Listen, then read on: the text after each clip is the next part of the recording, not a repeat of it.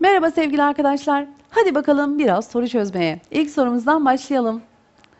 Canlılar vücutlarına aldıkları besinleri 1. Solunumla enerji üretimi 2. Doku yapımı 3. Onarım ve düzenleme faaliyetleri olaylarından hangilerini gerçekleştirmek için kullanabilir? A. 1 ve 2 B. 1 ve 3 C. 2 ve 3 D. 1, 2 ve 3 Sevgili arkadaşlar, canlılar vücutlarına aldıkları besinleri elbette ki tamamı için kullanırlar. Yani solunumla enerji üretimi, doku yapımı, onarım ve düzenleme faaliyetleri ve bunun gibi birçok alanda kullanılırlar. Diğer sorumuz.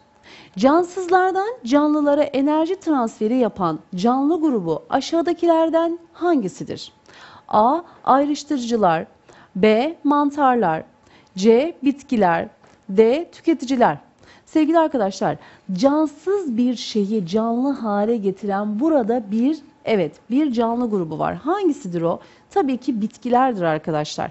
Bitkiler topraktan aldıkları su ve mineralleri ve ışıkla beraber ne yapar? Bir canlı konumuna getirirler. Yani kendi besinlerini kendileri üretirler. Diğer sorumuz. Evet burada bir şema görüyoruz arkadaşlar. Bu besin zinciriyle ilgili aşağıdaki verilenlerden hangisi yanlıştır? A. K canlısı fotosentez yaparak ışık enerjisini besinlerin yapısındaki kimyasal enerjiye çevirir. B. L canlısı etçildir. C. M canlısı enerji ihtiyacını yediği L canlısındaki besinleri solunum olayında parçalayarak elde eder.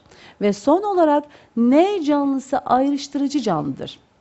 Sevgili arkadaşlar, eğer tabloyu inceleyecek olursak bakın K'da nedir arkadaşlar? K güneşten aldığını değil mi? Bir canlı konumuna getiriyorsa eğer kendi besini kendi yapıyorsa evet K burada nedir? Fotosentez yapabiliyorsa bitkidir. Peki burada benim de şaşırdığım bir şey var. Bakın M canlısının etçil olduğu o kadar belli ve N'nin de evet çürükçül olduğu belli. Ancak doğru cevabımız olan B'de L canlısı etçil dediği yanlıştır arkadaşlar. Görmüş olduğunuz gibi L canlısı otla yani bitkiyle besleniyor. Dolayısıyla da etçil değil, otçuldur. Diğer sorumuz.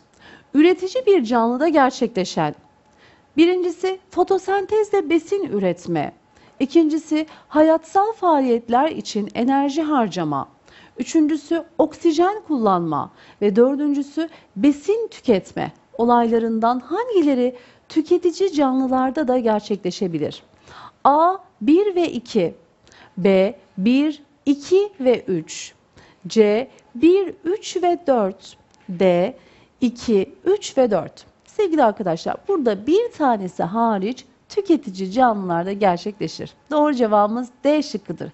Yani fotosentezde besin üretme hariç diğerleri tüketici canlılarda da gerçekleşebilir. Evet başka bir sorumuz. Aşağıda bazı canlıların beslenme ilişkilerini gösteren bir şema verilmiştir. Görmüş olduğunuz gibi bitkiyi böcek yiyor, böceği kertenkele veya kuş yiyor, kuşu da kurt veya sırtlan yiyor. Buna göre kuş sayısında meydana gelen azalmaya aşağıdaki verilenlerden hangisi yol açmaz? Evet, kurt sayısında azalma meydana gelebilmesi için bakın soruyu anlamak çok önemli. A. Kurt sayısının artması. B. Böcek sayısının azalması. C. Kertenkele sayısının azalması ve D. Sırtlan sayısının artması. Sevgili arkadaşlar buradaki doğru cevabımız mantıksal olarak da C şıkkıdır. Yani kertenkele sayısının azalmasıyla kuşların azalması arasında herhangi bir bağ yoktur. Evet sevgili arkadaşlar bununla beraber sizlerle soru çözümlerini tamamladık. Ama lütfen sizler bunun üzerine bol bol soru çözmeyi unutmayın. Hadi bakalım kolay gelsin.